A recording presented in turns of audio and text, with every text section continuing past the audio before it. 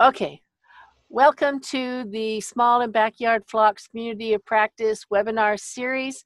My name is Dr. Jacquie Jacob. I am an extension specialist at the University of Kentucky. I am the coordinator for the Small and Backyard Flocks Community of Practice at uh, eXtension, which is the electronic version of the uh, cooperative extension service uh, online.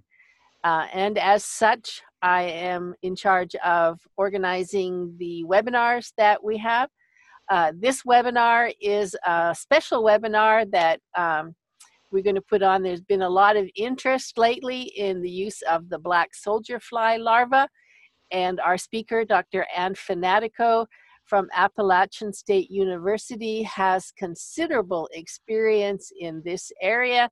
And so we'll be giving uh, an overview of some of her work that she's done um, on her farm uh, in North Carolina. So uh, as I said, if you have a question, put it in the, the Q&A or the chat. I will be monitoring the questions um, so that Anne can, can do the presentation. So uh, it's all yours, Anne. I will be on mute and stop my video uh, until a question comes up. Thank you. All right. Thanks a lot, Jacquie. And I am excited to talk to folks today about black soldier fly larvae production for ecological poultry feed. And we will talk more today about own farm production, which tends to be small scale rather than large scale production. But we will, uh, I will make a few points about large scale production. Again, my name's Anne Fanatico. Uh, my email to contact me will be on the last slide in case you'd like to get in contact. I do teach in the Sustainable Development Department at Appalachian State University in Boone, North Carolina. We're in Western North Carolina. And I teach agroecology, and I also do research on ecological poultry production, on, um, usually in a pasture poultry type setting.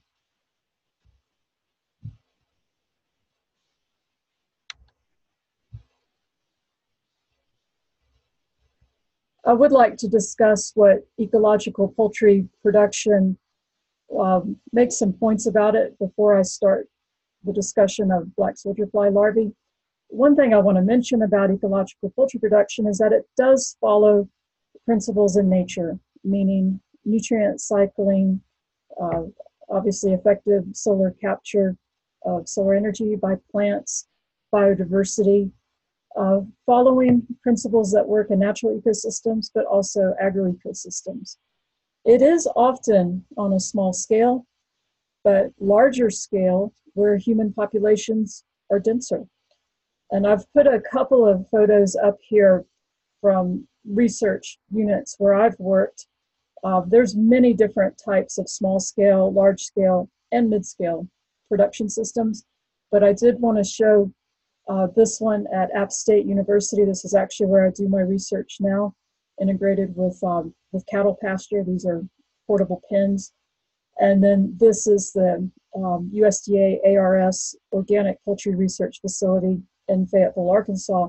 This is an example of larger scale production. This is a 100 foot house and with pop holes to uh, provide access to the outdoors, um, but with rotation of the pasture in order to provide uh, fresh pasture to the birds.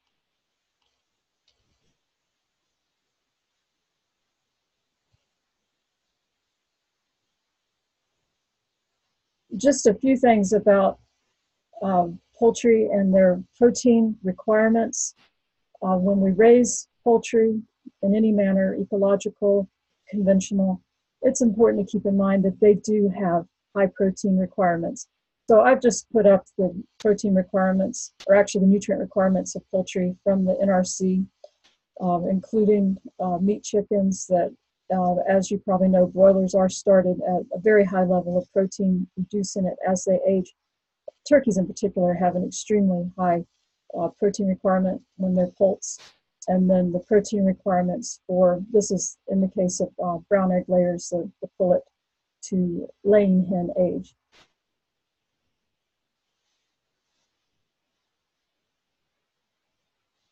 Having a little bit of trouble advancing the slides. That's why um, they're kind of racing forward and I have to go back, but I think I'm getting the hang of it. Um, I do want to mention a few things about organic poultry production as we get started that especially in organic production, high quality protein feeds are needed, especially since a number of things are not permitted. Synthetic amino acids are generally not permitted in organic livestock production, with the exception with our USDA program, the National Organic Program, there is a small amount of methionine that's uh, still allowed just with poultry production. But there's no uh, slaughter byproducts allowed for feed in organic production, no, no meat and bone meal, and then no uh, chemically defatted oilseed meals like the soybean meal that's been treated with hexane. So I hope that points out um, in ecological production and especially organic production, uh, we do need to look at alternative and innovative protein sources. One important protein source in ecological poultry feeding and organic is fish meal. And it is actually a, an excellent source of protein, about 68% crude protein and almost 2% uh, methionine. But there are sustainability concerns uh, related to overfishing using fish. And therefore, alternatives do include harvest of invasive fish, fish that are invasive to particular areas, for example, uh, the silver carp, actually, big head carp is um, the more accurate name in the US Midwest. That actually um, harvesting them can be a method of controlling or reducing an invasive species. And we have been working with um, University of Arkansas and USDA group in um, in Arkansas um, on a project to uh, investigate the use of bighead carp in dry extrusion, uh, investigating it as a source of poultry feed. Um, obviously, the hope is that the uh, this type of fish, invasive fish, will be controlled, and therefore it's important to look at additional sources of organic and ecological poultry feeds. And that's what brings me to invertebrates for poultry feed, for poultry protein. It's a very important alternative to fish meal. Um, insects can often be raised on crop residue or food waste, insects, and worms. And I would like um, to mention the red wiggler, Eisenia fetida, does have a very high proportion of protein. This is an image here of um, production actually in, in Mexico. Um, raising these worms on on a this is actually on uh, sheep manure, uh, raising the worms, and then it does produce a very valuable vermicompost soil amendment. Um, very useful to increase organic matter with crop production and uh, many of the trace minerals. Insect production is definitely growing for poultry feed. I think there's uh, a lot of interest in mealworms. This is an image of, of mealworms being raised for feed. And I don't have an image of crickets, but that's another important insect feed. And it, it's interesting to think about insects and worms too as actually being uh, more natural feedstuffs for poultry compared to, to fish meal. And that does bring us to a discussion of black soldier fly larvae production, the um, Hermetia illucens, that has high crude protein and again is also um, fairly high in uh, methionine. Uh, some of these invertebrate proteins, fish meal too, can provide alternative sources of intact natural methionine.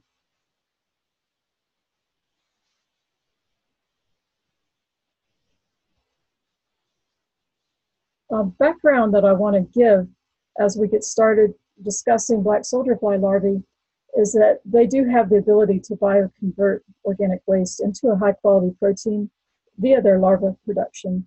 They are common to the southeast US, but they are found around the world.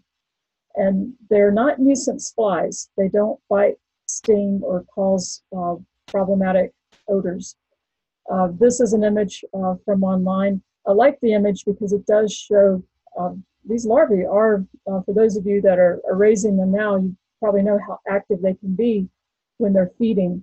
Once they um, start turning black, once they start turning into prepupae, uh, they don't actually feed. But I like this image because it, it shows how active they can be.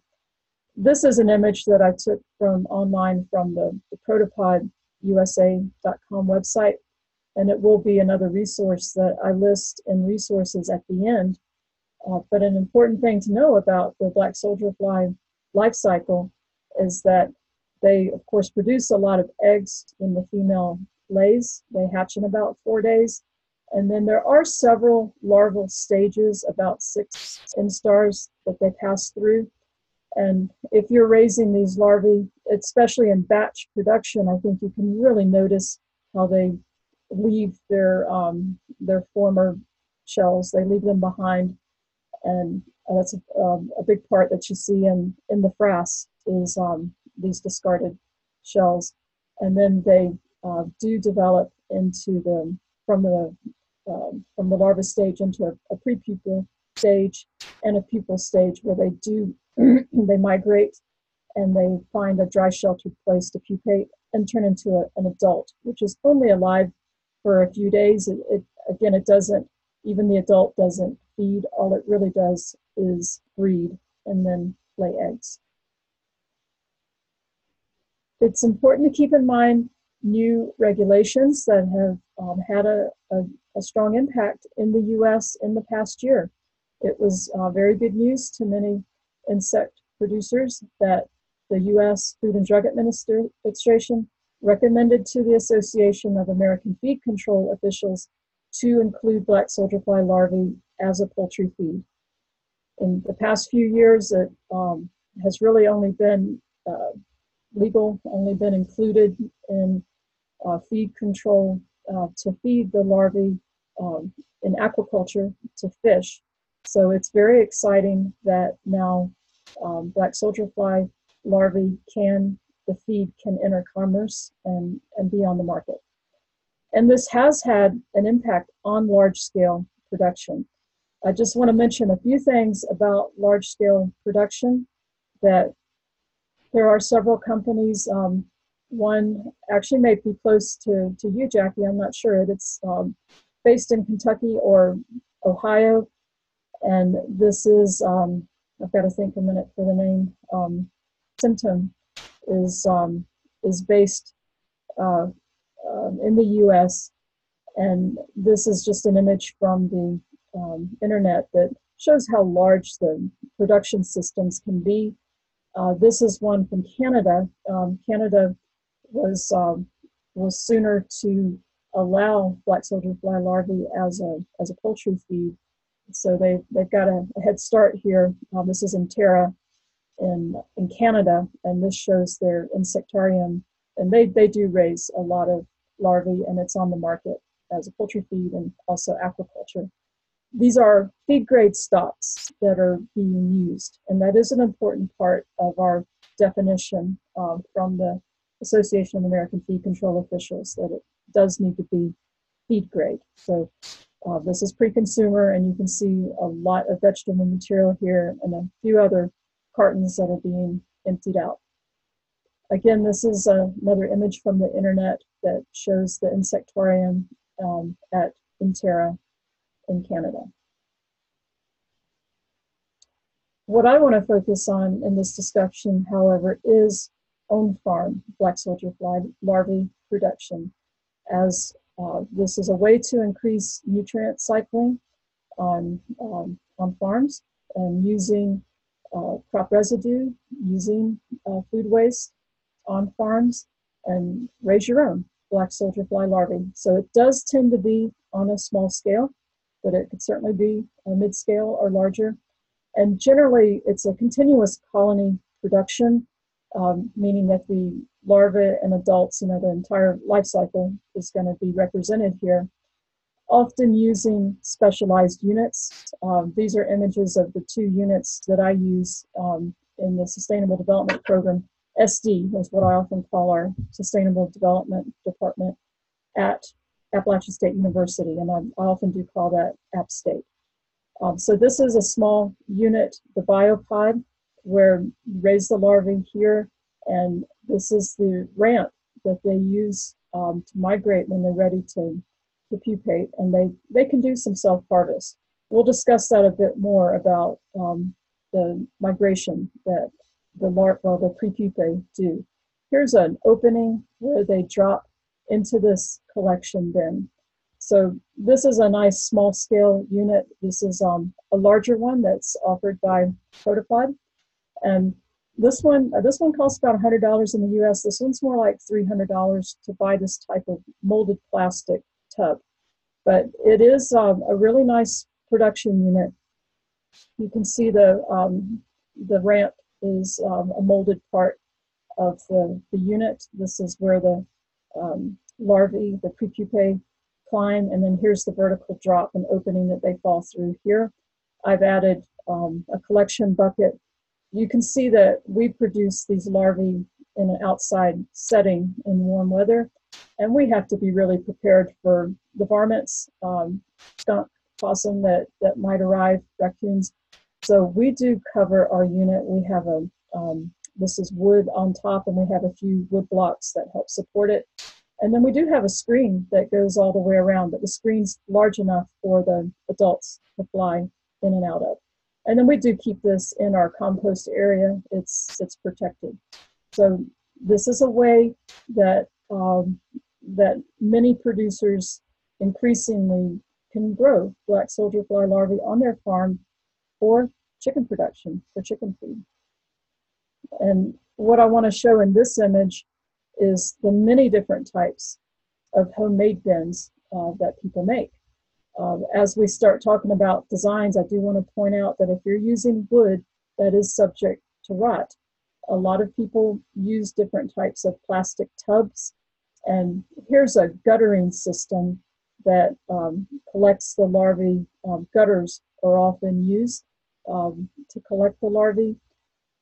I like this system here, the image uh, that I pulled off the internet that shows um, you can adapt many different types of plastic bins um, or other types of bins. You know, here it shows some probably PVC, you know, I think PEX would also work uh, where the where the prepupae can migrate up here and then fall into a drop. I like this image from the internet here that shows how you can actually have the larvae, the prepupae, fall directly into a, a feed trough. You can see right here the prepupae would be climbing up this ramp here, and then they do fall right into a feeder the so they probably never see their black soldier fly larvae because the, the chickens are waiting for them. If you're interested in attracting native black soldier fly larvae, they are again found in many parts of the world. Um, here in the US, they um, are found pretty much um, heat zone 6 and higher. Uh, we are in um, zone 6B here in western North Carolina. We're in the high country and we, we do get some very cold weather. Um, I'd say in, in zone 5, what I've read is that they tend to be more sporadic. So in this part of the world, in temperate areas, uh, it's a bit of a challenge to keep something like this going, you know, uh, year round. In fact, you have to have a, a wintertime um, production system if you want to try to do this year round um, in temperate areas. But the way in, in our area that we attract adult females for egg laying is, you know, set out. Uh, this is a, a new bin that I had set up a few years ago under a covered area and set out um, very rich food scrap or food waste. And what's commonly recommended in the, the ProtaPod instruction manual, which again I'll, I'll list as a resource at the end, is to soak some dog food. You know that it's rich enough that it will attract uh, females for egg laying. When you try to attract a natural population, though, you're going to first attract probably fruit flies and house flies, which are a nuisance before the black soldier fly colony becomes established. So we have to put up with um, some some nuisance species usually, and once the black soldier fly larvae take over, um, they they tend to be dominant. Um, this is I was uh, actually trying to start a colony last summer um, uh, after the warm weather set in, and it was on campus, and I just wasn't visiting campus as much in the summertime, and had trouble getting that colony started but then I noticed in our compost tower, this is a black uh, plastic compost tower here in our university, just a small scale composting center. I noticed a few months later that there was a very rich population of um, black soldier fly larvae at the bottom of this compost tower where students have been putting in food scraps. So I just want to mention that it, it can be, um, it can take a while to attract the um, adults native and i often just i don't want to wait you know i'm and once the warm weather starts i'm really ready to have a colony um, i do want to mention a few things about harvest that again there is a self-harvest component that the prepupae um, once they're ready to pupate that mouth part is modified as a hook and they never they don't they no longer feed this is when they begin to migrate upwards away from their food source towards a, a dry sheltered pupation site. And they do develop a dark mineralized exoskeleton that's uh, high in calcium.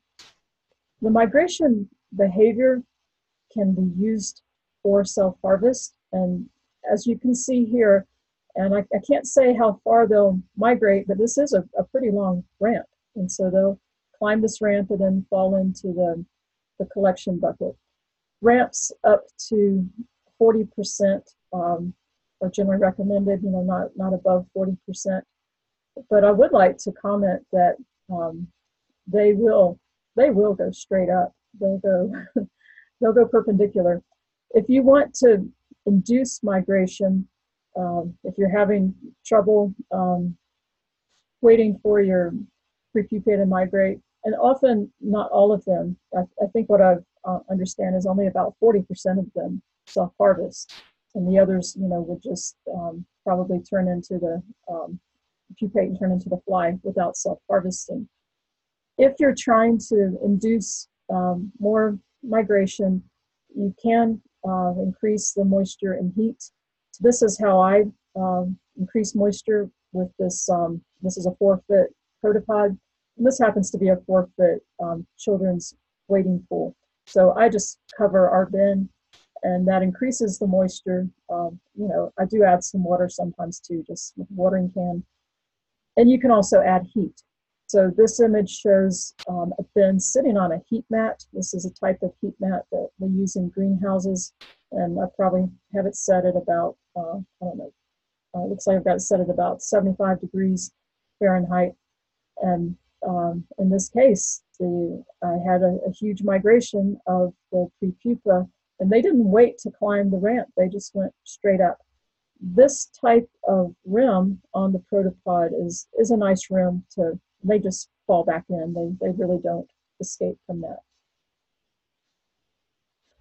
What I'd like to talk about though is what I believe is a more efficient way to raise black soldier fly larvae, which is the larval batch production instead of continuous.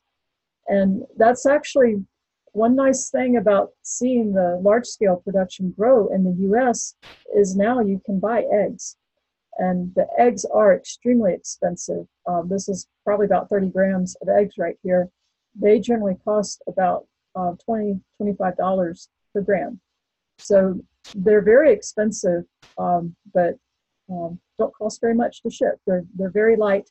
One gram, according to Symton Company, has uh, about 37,000 eggs in it. So I consider this batch production a very efficient way to raise black soldier fly larvae, and I'm, I'm really excited about this new development in the market. Um, when you hatch eggs, you do need to, um, a recommended way is to put them on a screen. They hatch in about four days. Um, you put uh, moist food scraps underneath. I probably, um, or food waste, I probably do have some, some dog food underneath this. Um, and this is a, a very fine mesh screen sitting on a, a wire structure. So they're about three or four inches above the, the food waste. And I, I do keep it in a, a tub. This happens to be um, in my, my basement because we haven't had uh, very good places that are protected indoors to, to do year-round production at, at my university. This is my home lab, is what I call it. Um, and this is actually draw, dry sawdust surrounding it just to reduce any, um, any of the tiny little larvae once they hatch to make sure they stay in the bin. You can certainly stack these growing trays. They can be very shallow and you can do quite a bit of production. This image shows a producer that um, he likes to use these um, four foot um, plastic wading pools and um, he's growing out larvae here. They're, um, they're, they're produced in a, a shallow way. Um, this is, you know, solid plastic tub. Uh, there, there's no drainage here um, because he's very careful about controlling um, the moisture of the food waste that he puts in. These are some bins that I've used actually in um, in my research. You know, just you can stack them many different ways, um, so you can fit in uh, quite a few larvae into your growing area.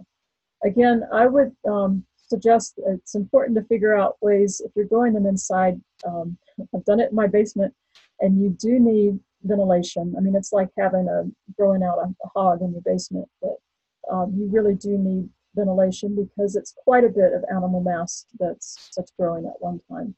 So you can stack these growing trays. The ideal temperature for raising black soldier fly larvae is about 80 to 86 degrees Fahrenheit. This is centigrade. But I've found that they have very high active production down to even 50 degrees indoors. Um, you know, a lot of outdoor livestock areas, you know, if they're well ventilated or barn type areas, are going to get uh, cold. And I've actually found in my basement that um, that down to 50 degrees um, indoors is, is fine for the larval production. I, I just put blue board, I put some type of insulation on top of the tray.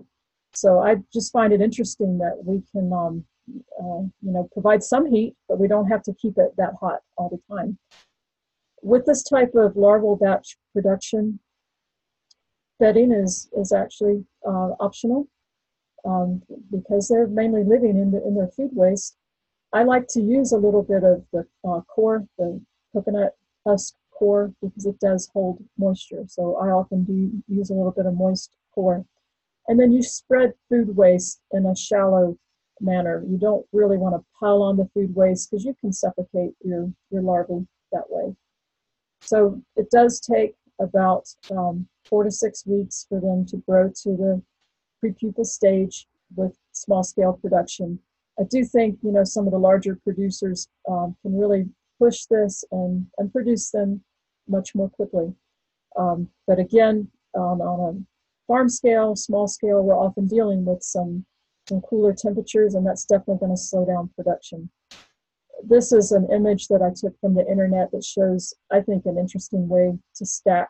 I personally, you know, do prefer larger bins, but this is one I think where the instars are actually separated um, by age.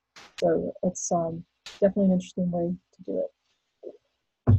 As we talk about the feedstocks that you can give your black soldier fly larvae, again, the Association of American Feed Controller officials, their definition does require feed grade. And I would encourage uh, feed grade until we know more about uh, food safety with growing black soldier fly larvae or as a poultry feed. So it's, it's not required um, by small farmers if, if, your, if your larvae are not entering commerce. But again, like this uh, legal definition, I do encourage that um, that producers use food grade crop residues, and this does mean um, pre-consumer food waste. Um, it could also be designer type feedstocks that might be planned to uh, influence the fatty acid profile of the larvae.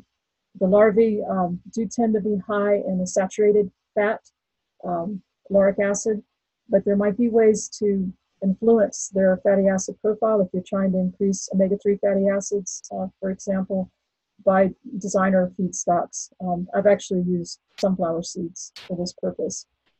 Um, because you need to reduce any type of, of risk of um, uh, food safety concerns, I would recommend avoiding animal waste or meat. I mean, the larvae can certainly um, certainly break down animal waste, and there's a lot of research that shows how they can, how well they can reduce um, swine manure, poultry manure, and they can certainly break down meat. But until we know more about food safety, I do follow the American Association of Feed Controllers definition that requires using a feed grade stock for the larvae to, to enter commerce. It's a good idea to pre-grind um, the feedstock that you're using. And this shows, you can put uh, a chippy mixer on your, your drill. That's something that, that will work to pre-grind. And this shows a producer who's got a nice mass of food waste here. You can see, you know, quite a lot of moisture. And uh, the larvae will go through that in about um, two days. They'll, they'll eat that down. Uh, this shows, you know, typically um, how many of the food scrap or food waste might look, but this I think is a more uniform way of doing it. One thing about raising larvae in the batched production is that it does allow mechanical separation and harvesting before the prepupa stage. So there's advantages to doing this. Um, my understanding is that um, in China, actually, the black soldier fly uh, larvae production's um, more advanced, and they, my understanding is that they usually do um, mechanically separate the larvae from their substrate and do this while they're actually still white, while they're still larvae, before they actually turn into the prepupa. So a recommendation is to harvest when the larva batch just begins to turn dark. And to harvest, um, because they're not self-migrating, um, you do need to, to separate. Uh, this is some of the frass and um, shells that, um, that I've had to separate with my production. Uh, you do use um, a type of screen. the type that we use in the US is eight uh, squares, eight holes per inch. So it's a screen that's you know a little bit harder to find. You know the four holes per inch is pretty easy to find at Lowe's, but the, the eight holes per screen uh, per inch is, is a bit harder to find. Using a fan can actually uh, blow away some of the shells and make this easier to sift. Here's um, kind of like sifting compost. Um, here's a, a, hand sifter that a, a producer uh, put together uh, sift and shake at the same time. This is one that students at at App State have built. This is again an eight um, holes per inch type screen. And the idea is to be able to turn this crank by hand and have, um, have the frass and substrate fall below and be able to harvest the larvae. On a larger scale, uh, this was built at App State as a compost sifter, but something like this with an eight hole per inch screen, I think would be effective on a larger scale. And this is a, a hand crank. Uh, she's turning the crank in this image. So you put your substrate in here and then um, have something below to collect the, uh, or that could just fall to the ground, but it's a very nice fertilizer actually. And then this is where you collect the larvae from. Um, this is a producer that I visited his operation and before he got bigger and you know, he moved to more of a mechanical type um, vibrating screen, much like is used in um, the large composting operations. But this is his initial setup that he um, would dump his larvae and substrate here to separate out the larvae, um, again, using fans. And you can see he's in a, a covered area doing this. So these are um, some larger scale ways to, to separate the larvae from their substrate. But keep in mind, if you're doing a continuous colony production, the larvae are different ages. So in that sense, self-harvest is still a, a, very viable way, and perhaps more viable than um, mechanical separation. You know, mechanical separation is more appropriate for the batch production. And this is our um, composting setup in, in Boone in Western North Carolina. That, uh, I mean, we do obviously do composting uh, um, garden materials. This is our on-campus facility. We, we do have a, a farm about 16 miles from campus, but this is um, our composting bins that we keep covered and pretty much like a three pallet type bin back here for our um, garden waste. We also do collect food scraps um, from food waste from the students on campus. This is the tower that we collected in and, and add straw. Um, this is our vermiculture over here. I guess it's a little hard to tell, but we've got an in-ground um, worm bin here that's um, that's covered. And the worms, you know, we can raise them, keep them year round because the ground doesn't freeze since they're two feet down. This is our grub bin that I have already showed a, a picture of. And this is, we can only set it up in warm weather um, for uh, continuous colony production. Otherwise, the, the larvae um, do freeze or if they can get warm enough, they, they go dormant. Uh, as you uh, harvest the black soldier fly larvae or um, prepupae, uh, you do terminate them if you want to be able to store them as a poultry feed and use them during uh, the wintertime.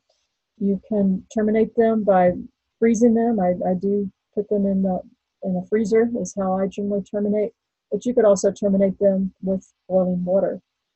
And then I do um, dehydrate uh, because I, I want to use this as a feed ingredient and want to have it available throughout the year. Also, be able to measure out um, how it's delivered to the birds in a prescribed way in a, a feed ration. I'm actually trying to replace fish meal, is what I'm trying to do. You can use an electric uh, dehydrator. This is um, one that we use at, at App State or you can certainly use a solar dehydrator. And um, Appalachian State does have an innovative um, sustainable technology and built environment department. They work a lot with, um, with appropriate technology. And this is a solar dehydrator that was built um, in the past and um, is still, I think, used. Uh, there's information about the Appalachian State uh, food solar dehydrator online the hot air or the air enters through here and it heats up. This is a solar collector as it rises. And then you can, this cabinet that's attached does have multiple trays where you can dehydrate food or whatever you're, you're trying to dehydrate. Um, vents up here at the top can help control and the advantage to using this type of solar dehydrator is that there's no direct rays of the sun because the sun can break down some of the, the vitamins in the food or feed that you're trying to dehydrate. So I think this is an exciting innovation. Uh, once you dehydrate the larvae or prepupa, there are some um, commercial products online that you can buy on Amazon. This one is marketed as a treat for ducks and, and poultry. Uh, this is one called uh, popworms by Symton. Um, their dehydration, or some, I don't know if theirs specifically, but some of the um, large scale um, larvae producers, they, they use more of a microwave type dehydrator. And um, I think supposedly keeps more of the nutrients and it does, um, I think, kind of um, pop it is, is what that does. So it's a different way of dehydration than the electrical or solar dehydrator. Uh, I think it's important to look at wintertime options for countries like the US that we have a lot of cold areas.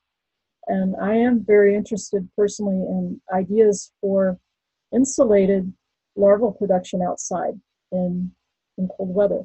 So this is an idea that I've seen that a producer has experimented with building a box, a wood box and a cooler type insulation inside.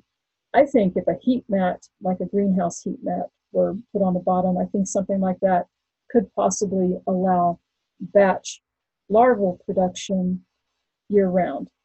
again, without having, um, unless you have a lot of livestock housing, then it would work well in your livestock housing. You know, if you keep your livestock housing heated, um, again, you just need, you know, quite a bit of ventilation because there's a lot of um, CO2 uh, being produced.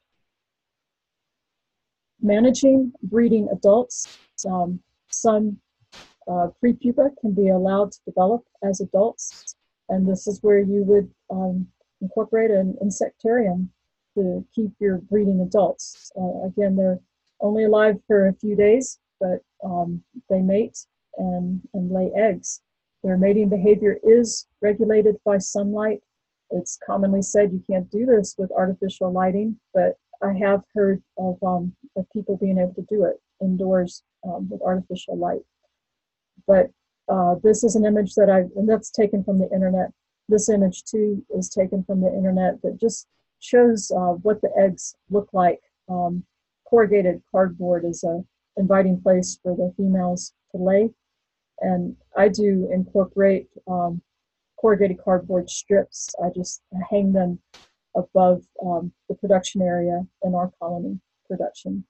My understanding is that it can be quite difficult to manage um, breeding adults, but um, I mean, uh, during the during the winter time in our temperate areas, I think it's certainly possible in warm weather. And I would actually recommend really kind of a combination of continuous colony production and batch larval production. Um, you know, in warm weather, you know, whether tropical countries or warm weather in the U.S., because you can harvest eggs regularly um, during the warm season, and you know, every four days or so, take out the um, this portable egg case here and um, hatch out. Uh, you can just put this case directly on top of a, a, screen that I've mentioned on these tubs. And that would allow you um, every several days to hatch out a new batch of larvae that, that are all the same age. So I actually do uh, recommend combining this. Uh, this is a lot of text here, um, but what I want to point out is I think many of us are interested in feeding the larvae um, to poultry. You know, again, I'm trying to replace the use of fish meal. And that's what this investigator found um, several years ago that they replaced, um, the black soldier fly replaced 100% of the fish meal in layer diets with no impact on egg production. Uh, this researcher more recently uh, fed the larvae in combination with plant protein, with peas or alfalfa, to slow growing organic meat chickens and found the performance to be comparable to a soybean meal control. Uh, more recently, um, there's been interesting research um, at Penn State, um, Pennsylvania State University. Um, Patterson and workers, they found that increasing level of the larvae to, to laying hens um, at 12%, there was an increased um, egg-specific gravity, but they actually found lower albumin and Haugh units. And there was an impact of the yolk on uh, impact of the larvae on the yolk fatty acids. This researcher, uh, working in combination uh, with this one, these researchers found uh, they separated the larvae meal, uh, they separated out the oil, and then they fed a meal too. But they found that increasing levels of oil, up to 4.5% um, for laying hens, led to a greater albumin height but they found that feeding increasing levels of meal to replace the soybean meal actually led to lower egg production above 16%. So that's some of the research um, on feeding the larvae to poultry. Um, again, I've been trying to replace fish meal with black soldier fly larvae for uh, choice fed chicks, and this is a preliminary trial that I've done um, I'll describe what I mean by choice fed in, in a minute, but um, our research has been done at the Appalachian State University Sustainable Development Farm with the chickens there, um, or the poultry production area there. We hatched uh, black soldier fly eggs and I raised the larvae on dehulled um, sunflower seed feedstock. And uh, this shows how um, in a colder environment like a basement, you can actually add some um, board insulation um, that and the larvae do congregate pretty heavily under the, the blue board. Um, I harvested, I terminated them in the freezer, um, I dehydrated them and then we ground them um, to incorporate them into our, our feeding program. We actually use an alternative feeding method at, at our SD farm, our sustainable development farm, that um, is designed around uh, ecological uh, nutrient cycling. So we try to use as many ingredients from the farm as possible that, that we can grow. Um, so we feed our energy uh, separately. You know, we do rely on separate energy and protein feeding um, and allowing the birds to, to self-select um, for their target nutrient level of, um, of protein and energy. So um, this is something I've, I've done research on in the past and, and find it an effective way of incorporating on-farm ingredients. Um, so we feed a high protein concentrate. It's also a very historical method. It's called mash and grain is the, the old name for doing this. So we feed our high protein concentrate in a separate feeder than from our corn. And our high protein concentrate we make with about 81% roasted soybeans, um, any type of plant protein, but we've, we've used um, soybeans, uh, fish meal 9%, and that's what I'm trying to replace, oyster shell uh, 3%, and then a common vitamin, vitamin mineral premix that's um, used by many pasture poultry producers in the US. So that's how we make our high protein concentrate, and we let the birds um, self select. You know, they um, generally eat more energy in the wintertime and less in the summer. Um, I think this out this method of alternative feeding does have um, good applications for organic production because you can grow your own organic corn on your farm. Organic poultry feed tends to be very expensive. So this is the alternative feeding method that we use and a feeding trial that we did was to um, feed chicks from uh, day one to 28 um, days, um, young chicks. And I'm still analyzing uh, this data, but I just wanted to point out that we um, used a uh, high protein concentrate is what we call it. One, uh, the control was based on fish meal, and then our treatment was based on black soldier fly larvae. And we only had um, the ability in this trial to do a preliminary, uh, a preliminary analysis, so there's no replication of these treatments. Um, we had one treatment on this side of our this small range brooder and one treatment on the other side. And that shows me uh, working with some students, pretty tight quarters here, um, testing out the black soldier fly high protein concentrate. Some future directions that that we're interested in is, um, as I've mentioned, I really would like to investigate the use of small units for year-round larval production in temperate areas, especially since you can buy eggs now on the internet and hatch it out and do this year-round. Um, I'm interested, you know, we've looked at that little wood box setup. I'm interested in um, using actually a solar collector. This, again, I've mentioned that we do have a, um, a really innovative um, solar technology department here at App State. And this is a solar chicken house that a student built when I uh, first started here about eight years ago. We've used this is actually with our silky, you know, silky chicken production because it's a small unit and they're small birds. Um, this is a PV panel that um, the student installed uh, for light, but this down here is actually a solar collector to heat the unit. So the um, air enters here, this is a black background, um, and then the air is heated uh, with a black solar collector here and glass in the front. And then um, set up um, a sensor that can detect when it's less than 40 degrees inside this, and that's when a vent opens and the, the warm air goes into the chicken house. So I would really like to adapt this um, type of technology to um, prototype for, for raising larvae year round because many of us don't have um, you know a, a, good barn to do this in you know um, and we want to do it year round. We're also trying to extract um, the oil because again black soldier fly larvae is um, is high in fat, about 35%. And we were just using the type of press here that um, people used to um, extract the oil from canola seeds, for example. We were not able to extract very much oil with this method. And I hope we can do some type of mechanical method or pressing because we're, we're not going to extract it with, um, with chemicals. But it's, it's a really nice idea. And my understanding is that actually in many other countries, the larvae are raised more for the oil, is what they're raised for. So it's a good idea to be able to separate out the oil from the, the larvae, also for, for biodiesel. So uh, we've been experimenting with that. Uh, these are some of the citations um, on the slide that, that I've mentioned. And then um, I would like to acknowledge that the work was funded by a NIFA Organic Transition Program project.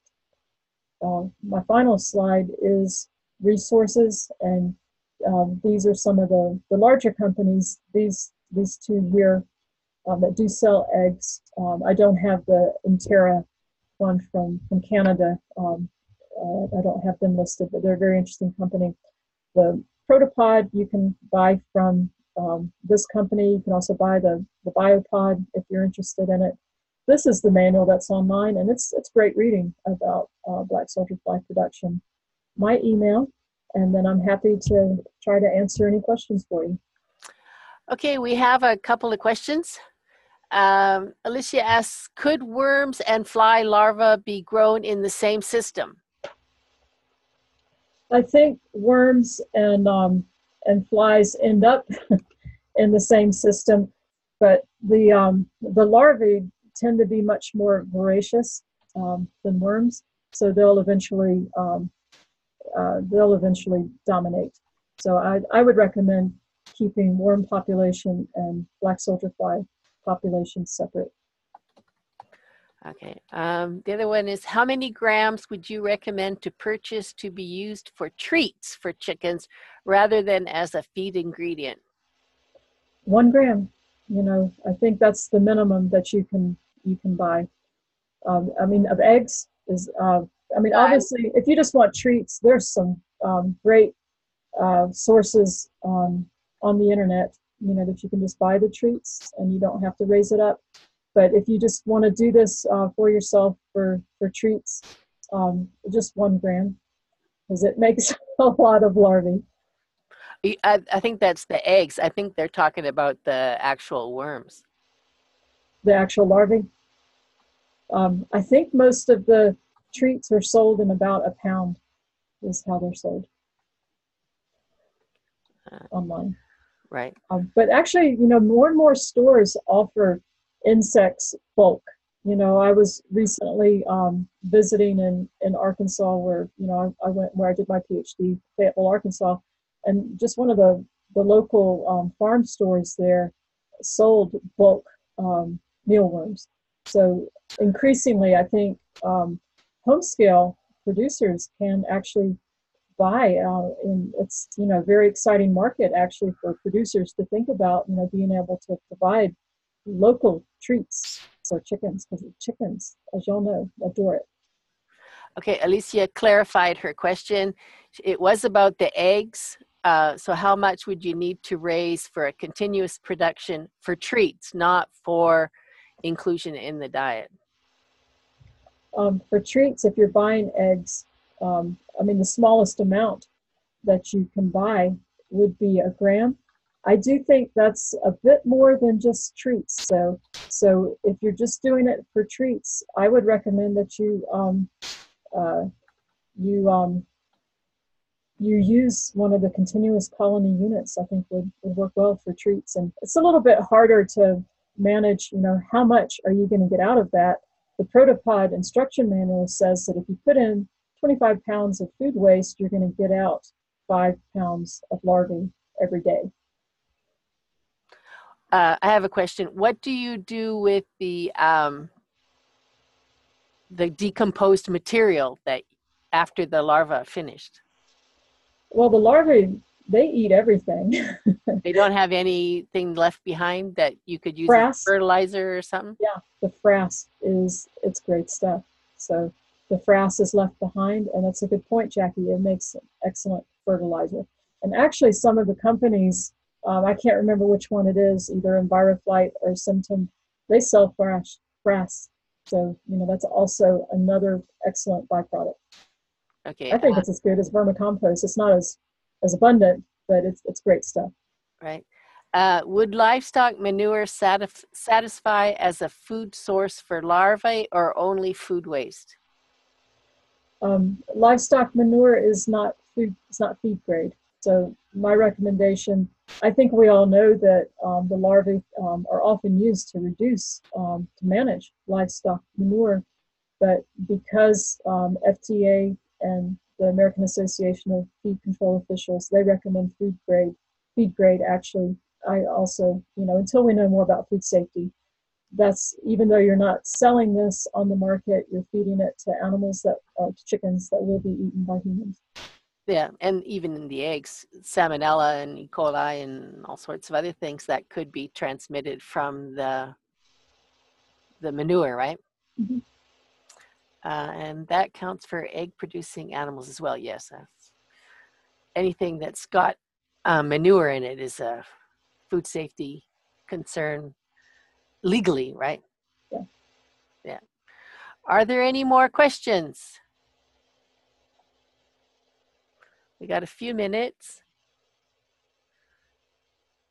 Uh, our next webinar is going to be on April 2nd at 3 p.m. Eastern uh, Daylight Time. It's only supposed to be 20 minutes, an overview of poultry equipment for backyard uh, chickens.